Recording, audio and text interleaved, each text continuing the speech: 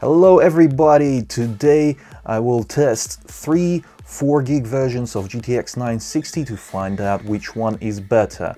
All three of them are already high quality products that I can recommend, uh, but I will dig deeper to expose all of their strengths and weaknesses. I present to you Gigabyte WindForce X2 OC Edition, MSI Gaming 4G,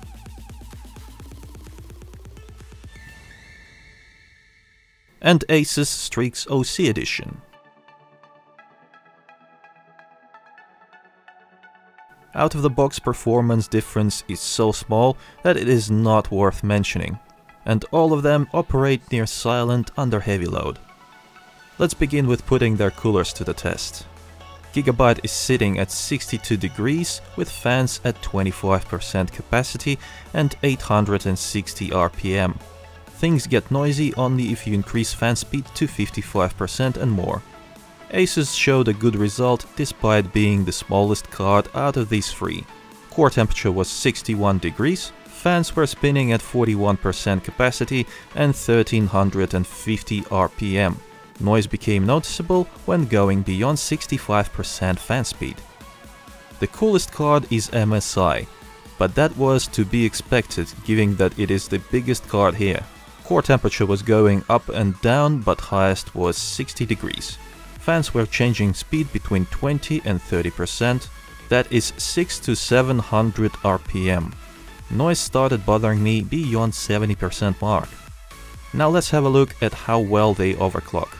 But I must say that you shouldn't make a big deal out of comparing overclocks, because even the same two graphics cards will overclock differently. Memory on all three of these overclocked to exactly the same frequency of 7900 MHz. As for core clocks, Asus was at 1522 MHz, you can see the settings that I used on your screen now.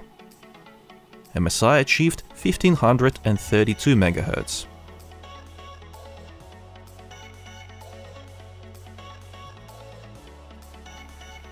And the best overclock goes to Gigabyte, 1560 MHz actual core clock. So what kind of conclusion can I make here? All three graphics cards have pretty much the same quality and performance even overclocked. This is what I think. If low temperature is at most importance to you, then MSI is the way to go. If you want a compact card that is also on the same level, then Asus is the one for you. But I personally think that Gigabyte is the golden middle in this case. Great overclock and enough power delivered via two 6-pin connectors. Also it is slightly cheaper here in the UK, at least right now. Prices do change from time to time, so check before you buy. I hope that this video helped you make your decision. If you are here for the first time, then do hit that subscribe button to get more awesome videos in the future. I'll see you in the next one, RG out.